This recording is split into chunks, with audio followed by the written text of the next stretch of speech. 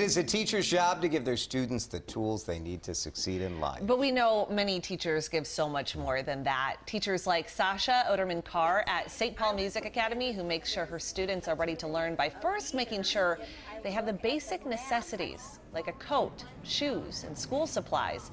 She does it out of her own pocket, and it's what makes Miss Sasha an excellent educator have been awarded this week's Excellent Educator. Congratulations. For 19 years, Sasha Odermann-Karr has taught English to students who sometimes come to her not knowing a word.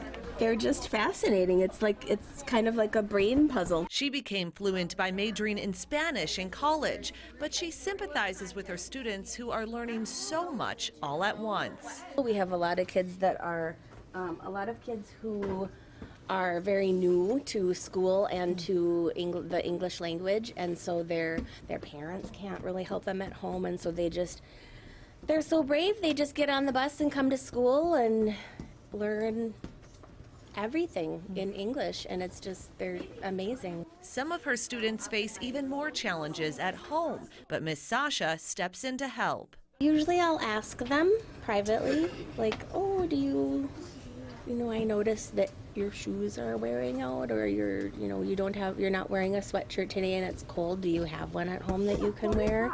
And if they say no, then I ask, you know, do you want me to get you one?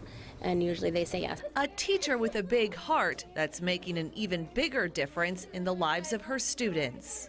I do it because I can and because I want to, and I think that just if they are missing something that in you know a basic need, it's gonna make it hard for them to focus on school and learning and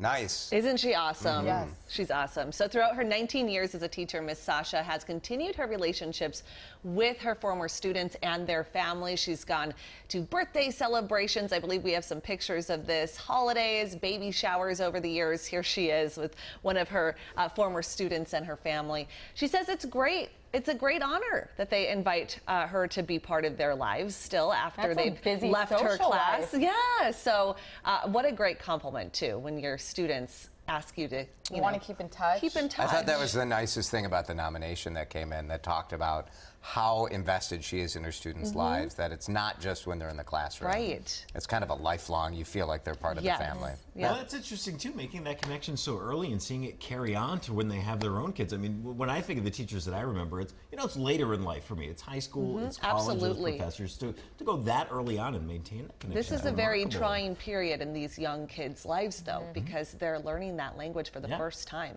and so maybe you create a stronger bond that way. Mm-hmm. Well, if you have an excellent educator, we are taking nominations on our WCCO Mornings Facebook page. You can also email it to morning at WCCO.com.